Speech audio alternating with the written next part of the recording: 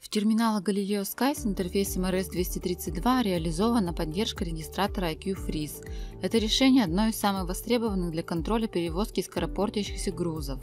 Регистратор IQ Freeze может получать данные с холодильных установок следующих типов Thermo King, Carrier Supra Maxima, Zanotti Una, Thermal Master, Carrier Vector. Обратите внимание, функционал реализован в терминалах при помощи алгоритмов, поэтому необходимо использовать терминалы с поддержкой EasyLogic. Проверить, поддерживает ли прибор EasyLogic, можно двумя способами. Первый способ – проверить этикетку снизу корпуса терминала. Около номера email должна присутствовать цифра 2 в скобках. Второй способ – отправить на терминал команду hard version – если в ответе после запятой будут стоять цифры отличные от нуля, то работа с алгоритмами возможна. Для подключения регистратора к приборам Galileo Sky версии 2.3, 5.0 и 5.1 минимально требуемая версия прошивки 231. Для приборов BaseBlock 15. Для версии 7 – 1. На рисунке вы видите схему подключения IQ-Freeze к терминалу. Обратите внимание, что земли устройств должны быть соединены.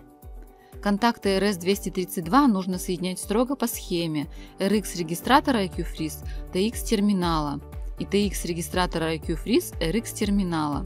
Питание на регистратор подается отдельно.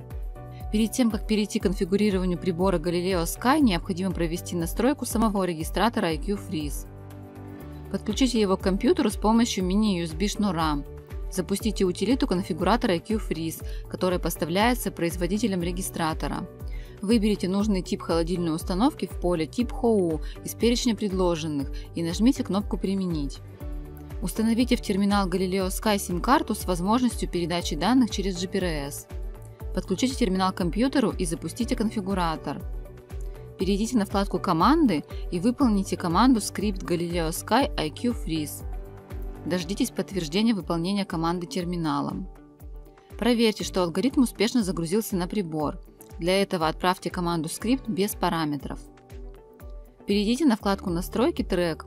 В поле «Структура внутреннего архива» выберите значение «Динамическое». Обратите внимание, что для приборов Galileo Sky Base Block и версии 7 установка динамического типа архива не требуется. Далее на вкладке «Цифровые входы» в поле RS-232 тип периферии выберите значение «Нет». Перейдите на вкладку «Настройки. Протокол» и установите галочку в поле «Рефрижератор. Только динамический архив» в колонке «Основной пакет». Нажмите кнопку «Применить». После настройки прибора проверьте отображение данных на сервере мониторинга. Стоит отметить, что в зависимости от используемого типа холодильной установки, которой подключен регистратор IQ Freeze, терминалы Galileo Sky позволяют передавать на сервер мониторинга различные параметры.